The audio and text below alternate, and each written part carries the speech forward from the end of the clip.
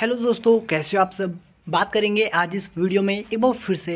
हाल फ़िलहाल रिलीज़ हुई बॉलीवुड की मच अवेटेड फ़िल्म, जिसका की टाइटल है बैड बॉय फ़िल्म को रिलीज़ हुए, फाइनली आज एक वीक कंप्लीट हो चुका है। तो चलिए जानते हैं आज इस वीडियो में कि फ़िल्म ने कितना कलेक्शन कर लिया है, और ये फ़िल्म हिट हो गई है या हो गई है ब्लॉकबस्टर ऐसे में आपको बता दें, फ़िल्म का बजट है केवल छः करोड़ रुपए, और फ़िल्म को कमाने थे दस करोड़ रुपए नेट बॉक्स ऑफ़िस से हेड का वर्डिक्ट अपने नाम करने को, जो कि फ़िल्म आज कमा चुकी है।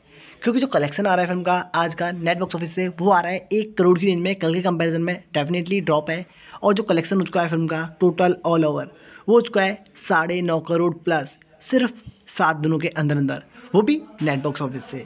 और वहीं अगर बात करूँ मैं फ़िल्म के total worldwide all over collection को लेकर।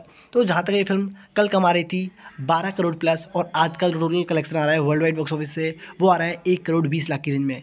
यानी कि फ़िल्म का टोटल अपडेटेड कलेक्शन हो चुका है तेरह करोड़ बीस लाख प्लस फ़िल्म अपने आप में, अपने बजट के कंपैरिजन में डबल कलेक्शन कर चुकी है और एक बहुत बड़ी ब्लॉकबस्टर बन चुकी है। ऐसे में आपको क्या लगता है? क्या वाकई बैड बॉय से डेब्यू किया?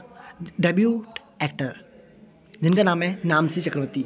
इन्होंने अपना पोटेंशियल दिखाया है फ़िल्म में, जिससे कि हर कोई सपोर्ट कर रहा है, प्यार कर रहा है, क्योंकि जो स्टोरी है वो काफ़ी इंटरेस्टिंग है, काफ़ी एंगेजिंग है और काफ़ी लवेबल तो है ही नो डाउट फिर भी आपकी ओपिनियन क्या है और क्या लगता है आपको कि फ़िल्म कितना बिज़नेस कर रही होगी क्लोजिंग तक? आपकी राय जो भी हो कमेंट में मैंशन करना मत भूलिएगा। वीडियो आपको पसंद आई हो लाइक करना शेयर करना। चैनल पर नए हो सब्सक्राइब करना। Thank you for watching keep supporting bye take care